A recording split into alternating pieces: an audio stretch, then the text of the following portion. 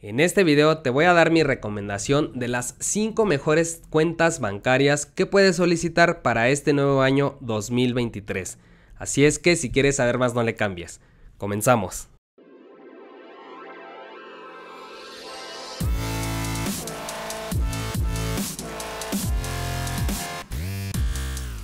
¿Cómo estás? Me da mucho gusto saludarte. Qué bueno que estás aquí viendo un nuevo video de mi canal Mix.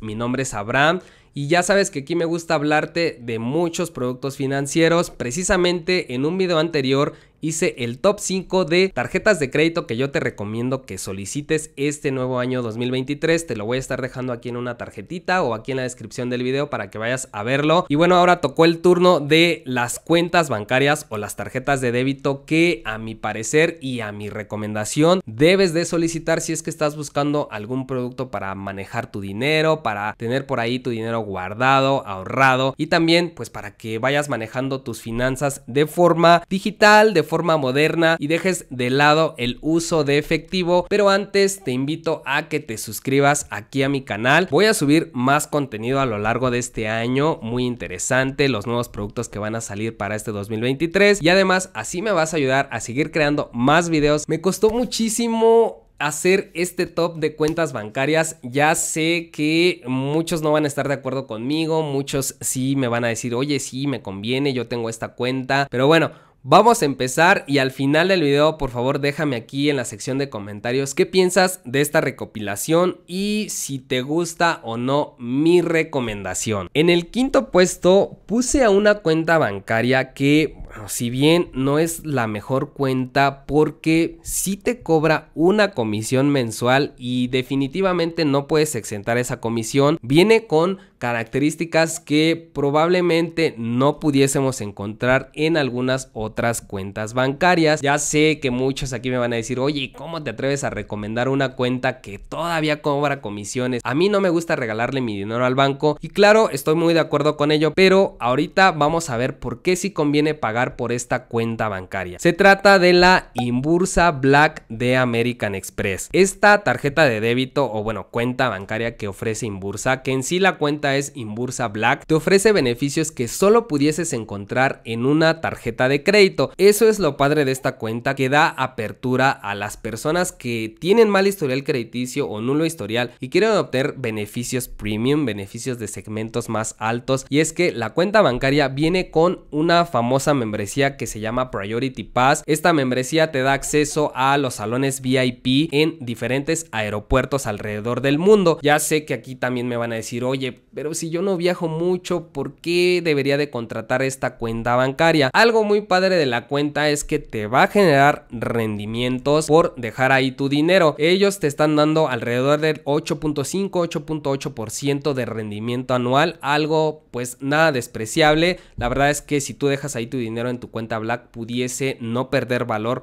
con el paso de los días. Y aparte, algo que le veo muy padre a la tarjeta de débito es que te ofrece un programa de recompensas. Pocas veces podemos encontrar recompensas en las tarjetas de débito, casi siempre las encontramos en las de crédito, pero esta Inbursa Black de American Express sí te va a regalar un punto Inbursa por cada dólar gastado o su equivalente en pesos. Así que si tú no estás acostumbrado, acostumbrada a utilizar tarjetas de crédito y quieres tener una tarjeta para hacer tus compras diarias, pues esta podría volverse tu tarjeta de uso diario, obviamente utilizando el débito o tu dinero líquido que tienes en tu cuenta y así obtener algo acá para el cuarto puesto dejé ahora sí a una tarjeta de débito que no te cobra ninguna comisión mensual, no te pide saldo promedio, no te cobra nada. Y se trata de la guardadito de Banco Azteca. Esta cuenta bancaria ya la había dejado en un top del año pasado, pero creo que es muy buena cuenta bancaria. La verdad es que todos buscamos cuentas que no nos cobren nada y precisamente con esta cuenta puedes encontrar esa característica. Esta guardadito no te pide saldo promedio no te pide un depósito inicial, tampoco te pide que tengas otro producto contratado con el banco y lo más padre es que lo puedes contratar desde la aplicación de Banco Azteca que puedes descargar para tu celular, también puedes acudir a una sucursal a abrir tu cuenta guardadito. Si hay dos guardaditos, la nivel 2 que es la cuenta bancaria que te permite nada más depositar hasta 20 mil pesos al mes, pero también está la otra que es la nivel 4, con la cual puedes depositarle poco más de 180 mil pesos mensuales. Ya tú decidirás cuál de las dos quieres. Si quieres la nivel 4, pues sí tienes que ir a sucursal a solicitarla o actualizar tu cuenta nivel 2. Sí puedes migrar tus cuentas, pero te decía que ya decidirás tú cuál se acomoda a tus necesidades financieras. Me gusta mucho que la puedes administrar bien padre desde la aplicación que está muy bien construida de Banco Azteca. Desde ahí puedes visualizar tus movimientos, puedes hacer retiros sin tarjeta en Banco Azteca y además puedes hacer apartados dentro de la misma aplicación. Para el tercer puesto dejé a una que también es de mis favoritas, es mi banco favorito porque su aplicación está muy padre, muy bien construida. Creo que ahora que nosotros somos nativos digitales nos fijamos mucho en una aplicación bancaria y creo que esta no decepciona a nadie. Se trata de la Banregio Naranja Light Plus. Me gusta esta cuenta porque la puedes tramitar desde cualquier lugar, desde tu celular, desde tu computadora, no importa si no hay una sucursal Banregio en tu ciudad, puedes hacer el trámite de forma remota y casi casi luego luego te aperturan la cuenta. La tarjeta de débito te llega a tu domicilio más o menos de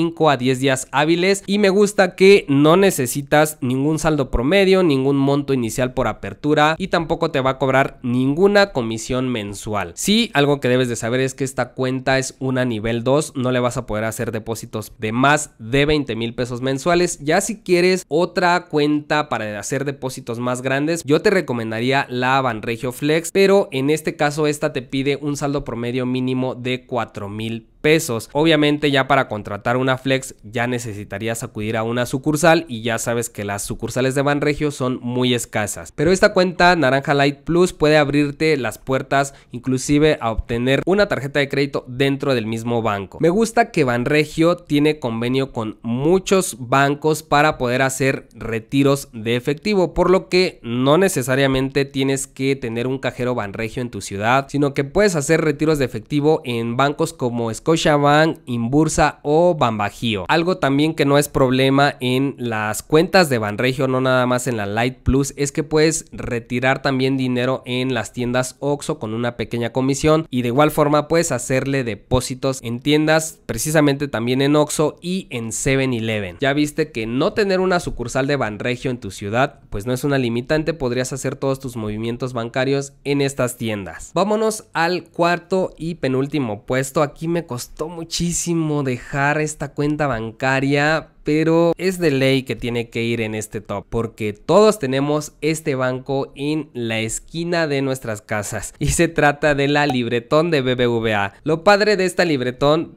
pasa igual como con la Banregio Light Plus es que la puedes contratar desde la aplicación de BBVA, no necesariamente debes de tener algunos otros productos contratados con este banco, puedes ser una persona nueva en el banco y te pueden dar tu cuenta libretón bien rápido, bien fácil, es lo que me encanta de BBVA eh, nada más haciendo el trámite con tu celular o con una computadora. Y te decía que algo que caracteriza a BBVA es que sí tenemos cajeros por doquier de este banco, por lo que pues definitivamente el poder disponer de tus recursos con tu tarjeta de débito no es un problema. Aparte que también puedes hacer eh, retiros en tiendas de conveniencia como en Oxxo o inclusive también puedes hacerle depósitos en estas mismas tiendas, por lo que sí pudiésemos decir que es uno de los bancos más populares o digamos que es un must, es una cuenta que debes de tener sí o sí. Y bueno, creo que a final de cuentas todos hemos pasado por un BBVA. Ya sabes que la libretón no te cobra ninguna comisión por apertura, tampoco te pide un saldo promedio mínimo, pero algo que sí debes de tomar en cuenta es que la libretón de BBVA está hecha para hacer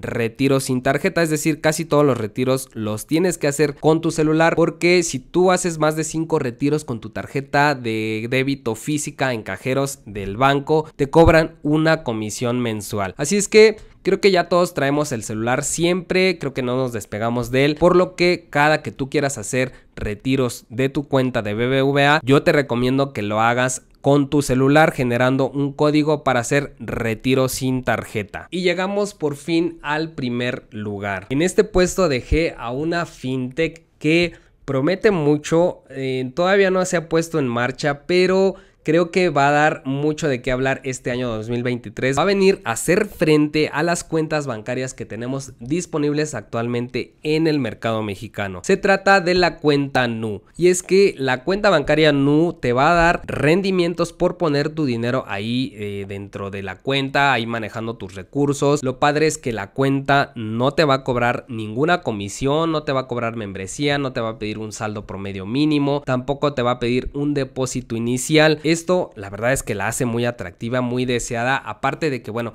su popular tarjeta de crédito es entre las favoritas, creo que también va a venir a potenciar esta nueva cuenta de débito que viene de parte de Nu. En esta cuenta vas a tener una tasa de rendimiento fija anual del 8.5% y vas a obtener un GAT real del 3.44%. Las cuentas bancarias que tenemos disponibles actualmente de los bancos tradicionales, casi ninguna te da rendimientos por poner ahí tu dinero. Una característica que ya viste, sí vamos a poder encontrar dentro de Nu. Claro está que estamos ante el inminente lanzamiento y disponibilidad para todos y todas de esta cuenta bancaria Nu, por lo que voy a estar atento al lanzamiento oficial y vamos a revisarla a fondo. De entrada ya te di las características que vienen con esta cuenta y creo que, bueno, aún no la tenemos disponible y ya vemos que le hace frente a muchas cuentas bancarias, tanto de bancos tradicionales como de fintechs, si es que creo que es una cuenta que debes de considerar para este nuevo año 2023. Hasta aquí llegó mi recomendación de 5 cuentas bancarias que debes de obtener para este nuevo año. Si no estás de acuerdo conmigo, si me faltó alguna característica o si tienes alguna otra cuenta mejor que tú nos recomiendes, déjalo aquí en la sección de comentarios para que todos sepamos más de esa cuenta que a ti tanto te gusta. También si tienes alguna duda adicional de todo lo que mencioné a lo largo del video, ya sabes que que también me la puedes dejar en los comentarios,